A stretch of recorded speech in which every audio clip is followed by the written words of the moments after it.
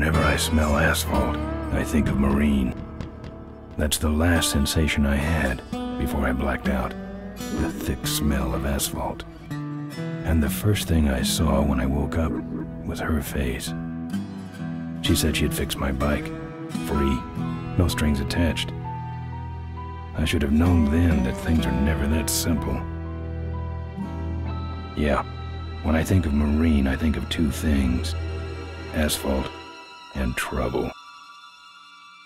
Rip Burger, you're dumber than dirt. Oh, Mr. Corley, if you'd only listen to my plan, my vision. I know your plan, Rip Burger. You're waiting for me to die so you can take over my company. Oh, sir, that's horrible. I am not waiting for you to die. You know I've never liked you, Rip.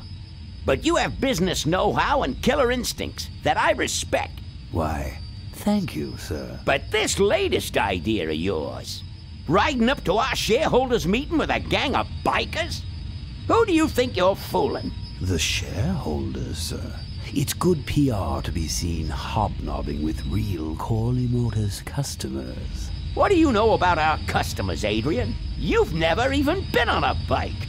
Well, you know I'd be on one right now, sir, if it weren't for my destabilizing inner ear condition. Ah, your ears are fine. It's what's between them that scares me.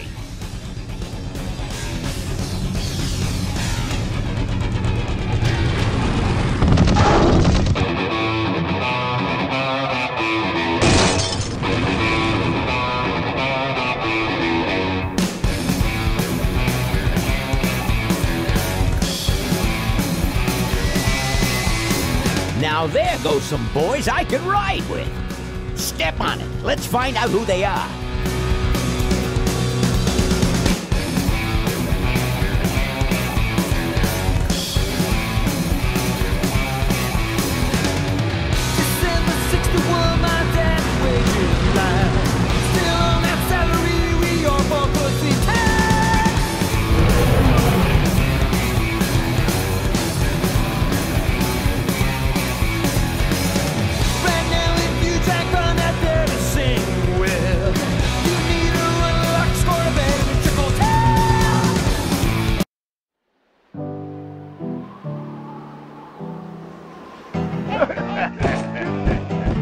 Hey, Ben.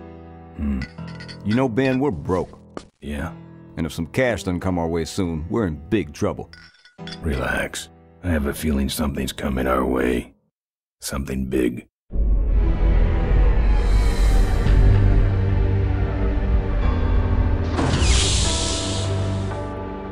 Uh, you better stay out here, Rip. This place is bikers only. All right. Who's the guy that drove over my car?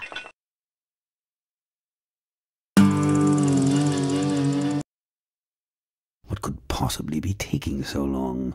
Maybe old man Corley got himself in trouble. Yeah, maybe they took the old guy out back and worked him over with a two by four. Hmm. An appealing notion, but improbable. More likely he's boring them to death with some tale of the glory days. But Malcolm, isn't that illegal? Not back then, it wasn't. So who do you ride with these days? He rides with me. Although I'm sure he'd much rather be riding with your little club. I told you to wait out in the limo, Rip Burger. I thought you might like some help with your sales pitch, sir. Sales pitch? Yes, we have come here today to offer you and your men employment. Mr. Corley requires an escort to the annual Corley Motors shareholders meeting. Does this look like an escort service to you? You would be well compensated for your time, of course. Not interested. It's uh, fairly obvious that you could use the money. Listen, I said we're not for rent. The polecats are not goons for hire. Not even if it were Malcolm Corley's dying wish. Rip Burger! That does it. I'm gonna... Hold on there, Malcolm. If you don't mind, I'd like to step outside with Mr. Ripburger for a little chat. Excellent idea.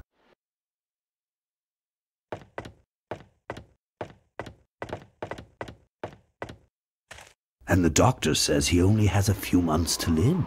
That's bad news for all of us. He's not just a nice guy. He's also the last motorcycle maker in the country. What happens to Corley Motors if he dies? Don't worry. I have a plan. And if you come to the shareholders' meeting with us, you'll find out what it is. No dice, Ripburger. The polecats are not thugs for rent. If you want to buy muscle, you should go find the Rottwheelers. The old man says it's the polecats or nothing. Then I guess it'll have to be nothing. Hmm. And that's your last word? That's it. Well, I'd like to make you just one final offer.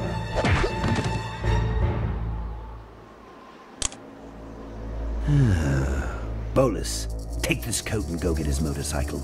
We'll have to tie up this little 200 pound loose end. it will need to look like an accident. That stuffed shirt actually thinks I'll leave him in control of Corley Motors when I go. Boy, is he in for a surprise. Hey, where's Ben going? Your colleague has decided to accept our generous offer after all. As a matter of fact, he's gone on ahead to scout out the route. He did? Well then, let's roll 'em, boys. Yahoo! Corville, here we come.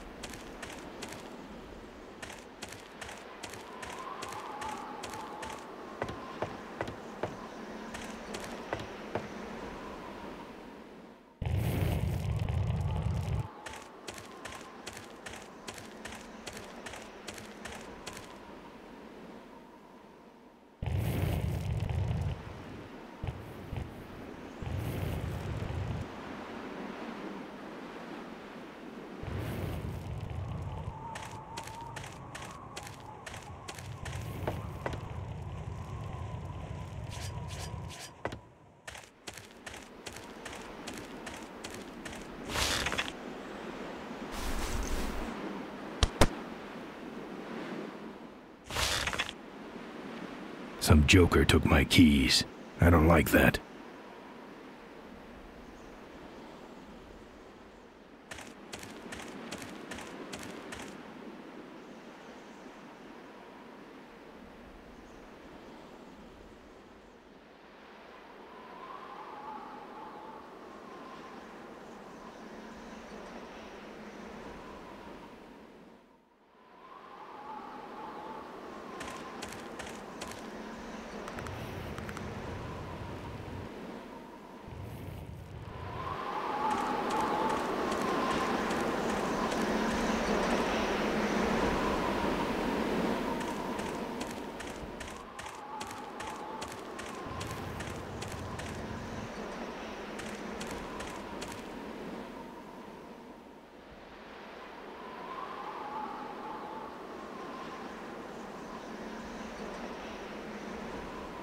Nothing that way from me but a... No, nothing. That's where I came from. Nothing that way from me but a warrant.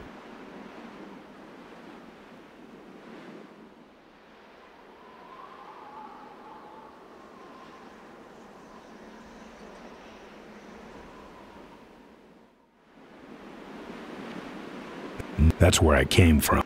That's where I... Nothing that way from me but a warrant. That's where I... Nothing that way from me but a warrant.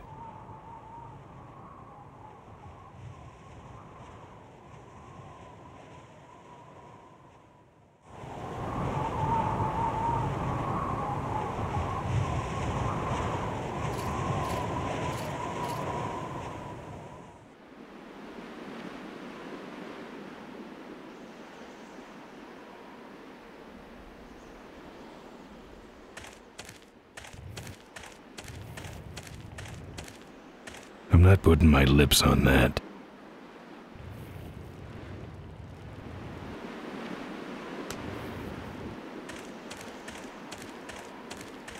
Some joker took my keys.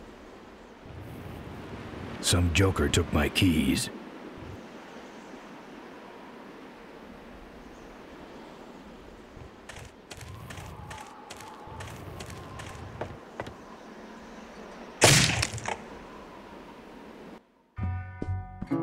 I, uh, fixed your door. It was sticky. Look, I don't want no trouble. Just leave me out of this mess.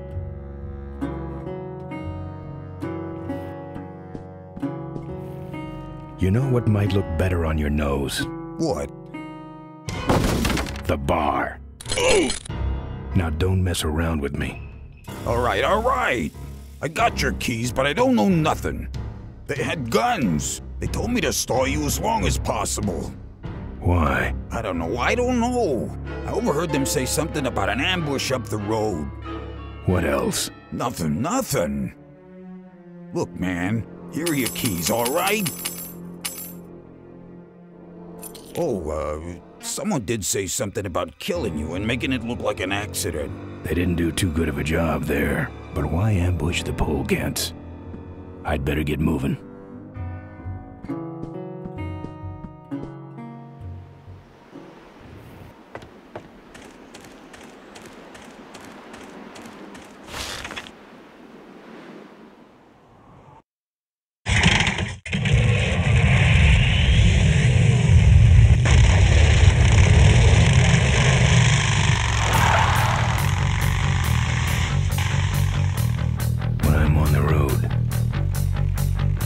Indestructible. No one can stop me. But they try.